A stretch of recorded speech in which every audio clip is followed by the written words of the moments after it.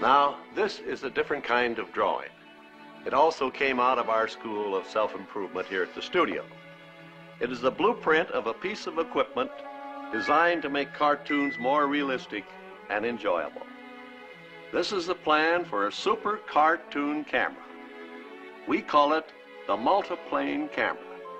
It was intended for use in our feature-length cartoons. You see, we decided for features, the camera needed improvement too. Actually, the pre-feature cartoon camera was fairly simple in construction and operation, and generally very satisfactory. Here, a Mickey Mouse short is being put on film. Mickey has been inked and painted on transparent sheets of celluloid.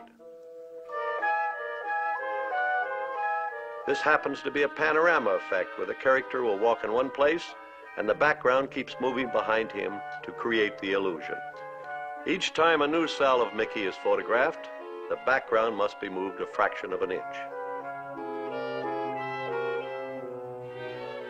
Photographing each one of these celluloids of Mickey and background makes a single frame of motion picture film. And here's how the action looks on the screen.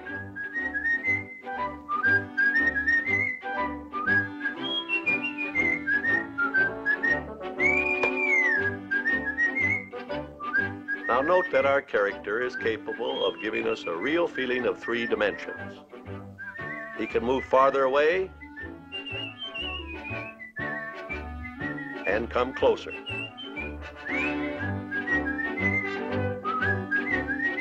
He can turn so that we see all sides of him. He seems to have roundness. There's nothing flat about him.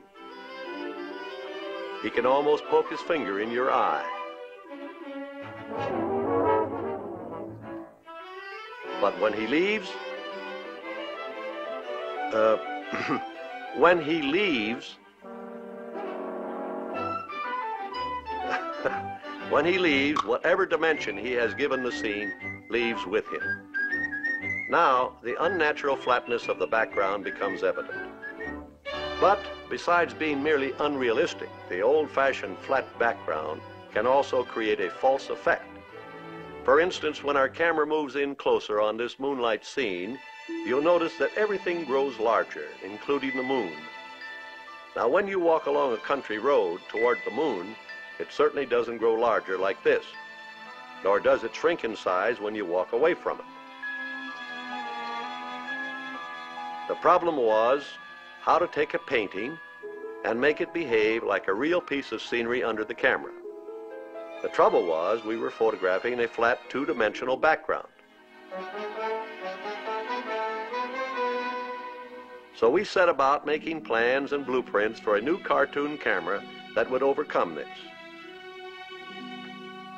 The different elements in the scene were separated according to their varying distances from the viewer. This put the moon on a plane farthest away from the camera. With our original picture broken down in this manner, it is possible to control the relative speed with which each individual part of it moves to or away from the camera.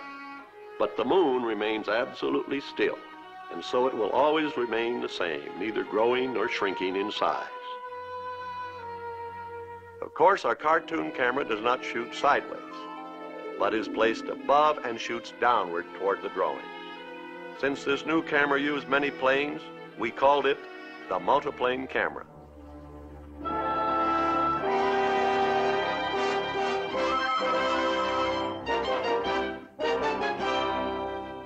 And here now is our same moonlight scene the way the multiplane camera sees it.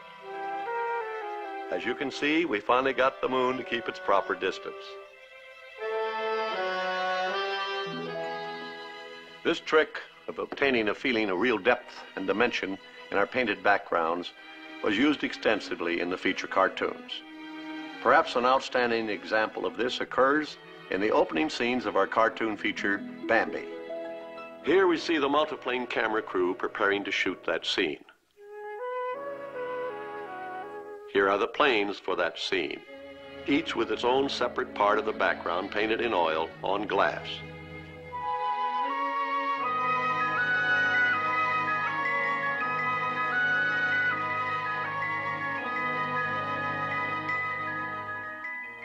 Each of these background planes is placed on one of the levels under the camera. Each plane is capable of moving in various directions. Here we see one being moved sideways. The camera operator, looking down from the viewpoint of the camera, sees all the levels combined as one picture. From his view, we can see how each level or plane can move independently of the others. Here, the operator of each level is bringing his particular part of the background into the right position to start the scene. But before the scene can be photographed, the camera operator must okay the setup. Everything's okay except the bottom level.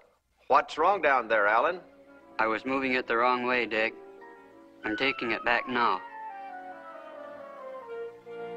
How's that? Looks fine now.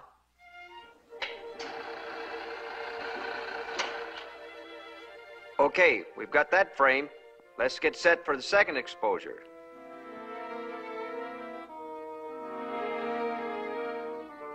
In our frame-by-frame method of photographing a cartoon scene, the feeling of depth is not actually too evident when the scene is under the camera. You might be thinking that it looks as flat as the old-fashioned type of cartoon background. In fact, it does while it holds still. The trick of the multiplane camera is movement.